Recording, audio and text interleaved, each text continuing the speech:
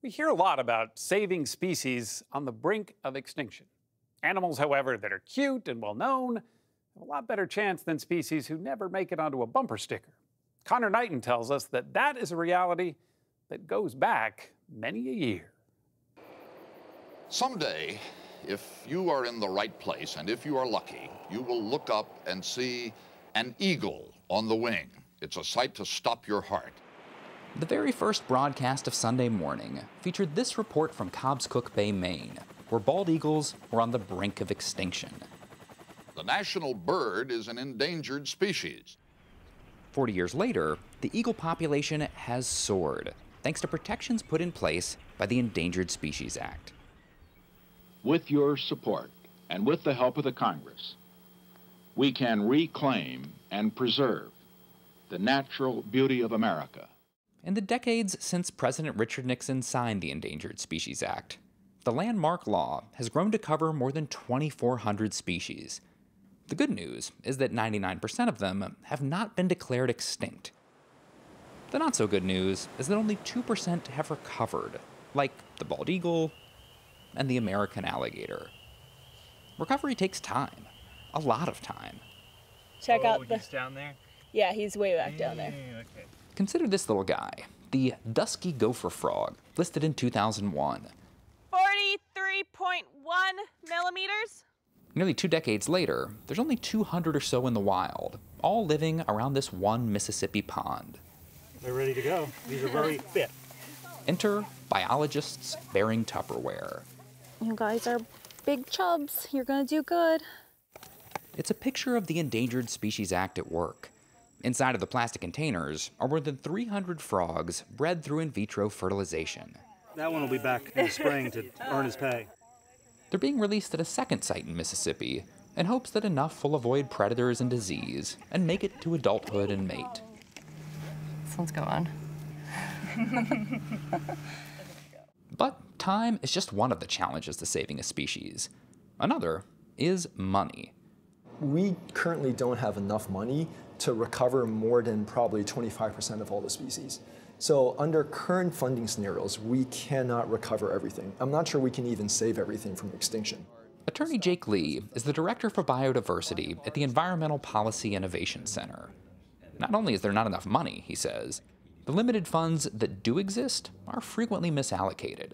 There's huge biases uh, in which species get the most money. I'm going to guess it's the cute ones. The cute ones are a big part of it. Li says if you're endangered or threatened, it definitely helps if you are also cute, majestic, or economically valuable.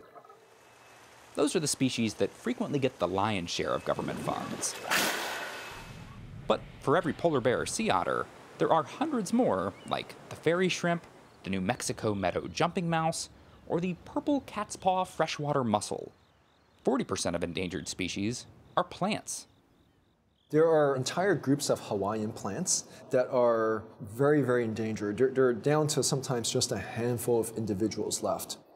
And whenever one of these lesser known species makes the news, it's almost always because of a conflict with one species Homo sapiens. The courts agreed with environmental complaints that the completion of the dam would destroy the only known habitat of the snail darter. From the snail darter in the 70s One little owl ain't, ain't worth 10,000 jobs or 5,000 jobs. to the spotted owl in the 90s, because they want to have us give over our land and turn it into a frog resort. to the little dusky gopher frog, who leapt all the way to the Supreme Court last year. Endangered species are at their most controversial when they endanger profits and property. When you got that call, had you ever heard of the frog before? Never heard of it. Never. In 2011, the U.S. Fish and Wildlife Service told Edward Poitevent that around 3% of his family's 45,000 acres of land in Louisiana had been designated as critical habitat for the dusky gopher frog.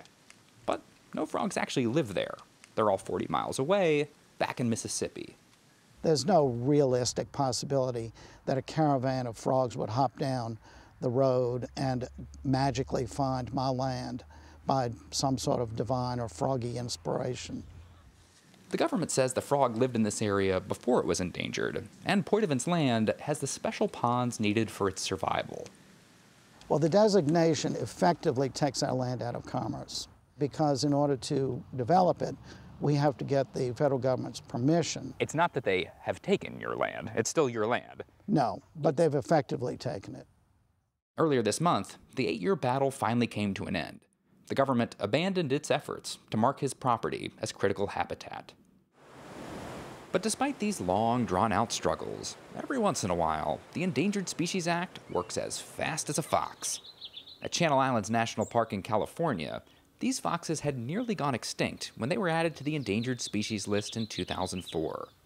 Today, they represent the speediest recovery of any mammal in the history of the Act.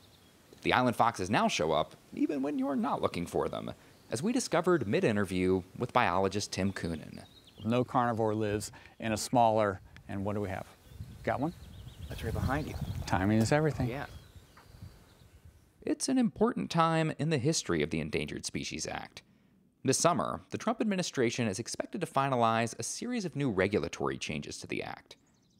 One major revision would be to publish the cost for protecting and recovering any new species proposed for the list.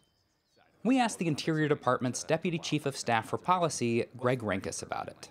The law is very, very clear. A listing decision can only be based on the best available science and commercial information, not on the cost of listing the species. But if you know that cost, don't you think that might influence whether people are more likely to protect it or not if you hear that it's obscenely expensive? Well, I think the public has a right to know. I think we want to be transparent in the decision making process. Another change would likely reduce protections for threatened species on the list, the step below endangered.